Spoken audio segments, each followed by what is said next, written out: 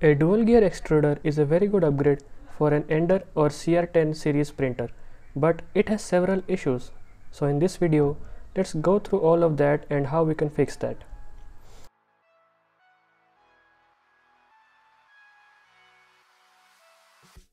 Hello fellow makers and welcome to Hyper Makes. As you can see I have already mounted some of the parts of the extruder to this gantry.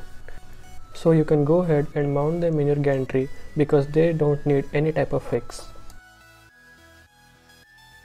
This is the part that we are going to talk about, the lever of the extruder. It has issues like grinding itself with the frame and moving sideways, so we will look about that. And these are the rest of the things that came in the bag like the spring and the pneumatic fitting. Start by disassembling the arm by removing the screw so that you can take out the gear and after that you can see that there are two roller bearings inside it. Another thing to look out for is that when you hold the gear you should see a chamfered side in the teeth part. The main problem lies with this threaded screw as you can see here. I will talk about it later in the video. Okay, so the main problem is that these roller bearings are intended to roll over a smooth rod. But some of the clones like mine have this M3 threaded screw which is not good for the roller bearings. The threads on the screw make the gear tilt to one side and that starts grinding in the arm.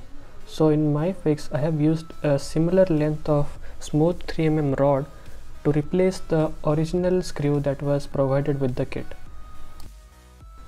If you are wondering on where to get these then you can get them from these type of 3mm smooth rods that you can salvage from DVD or CD drives. If you are not able to get them then don't worry you can just buy them online. For this fix you will also need a metal shim like this which I made out from aluminum pop can.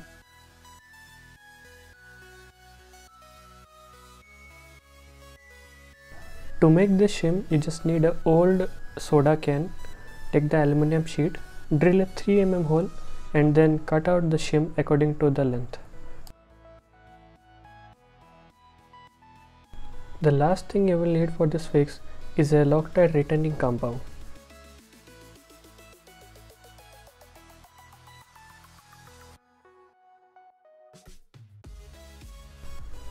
Start by taking the gear and inserting the roller bearings inside the gear and then attaching it to the frame.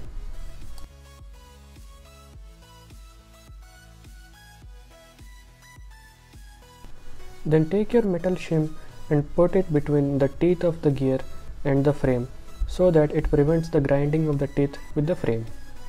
Then take your 3mm smooth rod and try to pry it between the two ends of the arm.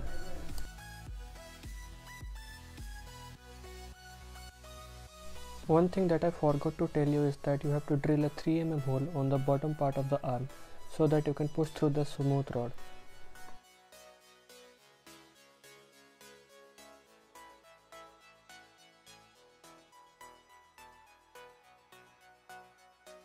After that take your Loctite retaining compound and apply it on the bottom side of the shaft.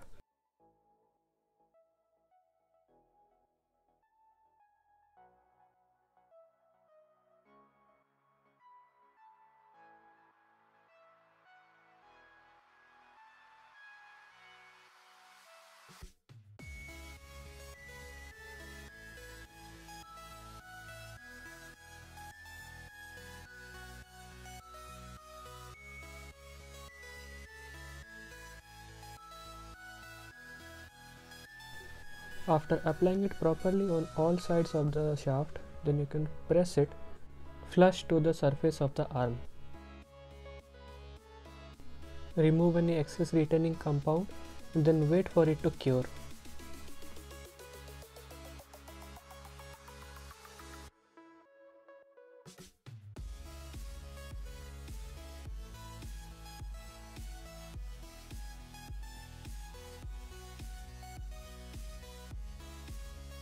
Also I decided not to use the yellow spring provided with the kit because it was very hard and it could damage the gears. So that's it, the compound would hardly take 2 or 3 hours to cure and after that you can mount this on your extruder and go on for printing. If you liked the video, why not consider subscribing? It is free and you can back out whenever you want. Thanks for watching and stay safe.